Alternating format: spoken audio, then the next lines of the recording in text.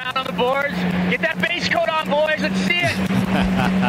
Italo Ferreira now going left.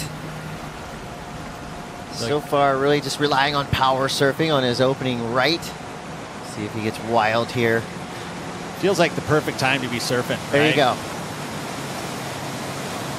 Beautiful stuff right there. There's some risk put in the middle of the wave. He's mixing up his maneuvers here. A lot of different tricks down the line, throwing the tail. So remember, he's already got a big reverse on the outside. Uh oh. and somehow cannot cannot even explain how hard it is to catch back up to this wave from behind. And for the second time in a row, Italo does not complete the wave, but did some work and some damage on that outside section. He did. I, I think it's still going to be a good number. You know, a couple of mistakes. There was a mistake on that one top turn before he did the reverse. You know, he made up for it almost the next turn. Yeah. Uh, you know, and then the fall at the very end. Uh, you know, that the moment when he had to get around it, which actually, even though it didn't look like that great, it was very difficult to do. We haven't seen many people get caught behind and actually get back to the open face. So, uh, good do job. You, do you get credit from the judges for fixing mistakes? No, I don't think so.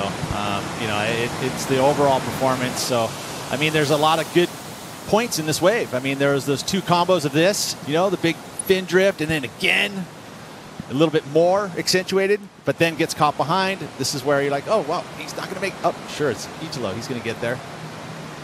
And then this fall at the very end of this as well, you know. So the numbers are going to be suppressed with a couple of mistakes, but man, there's some great surfing in there, and the board looks it looks great, you know. And I think the adjustments the surfers have been doing with these uh, smaller, more compact surfboards is paying off.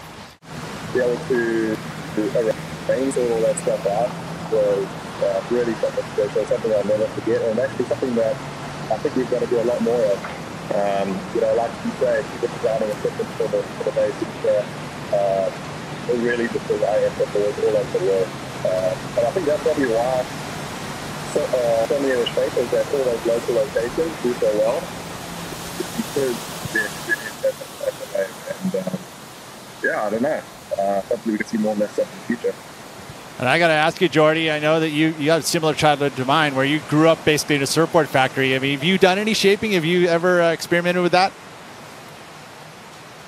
Yeah, look, I've shaped um, a lot of my life, um, but in the last, I would say, since COVID, uh, I've really got back into the into the into the bay.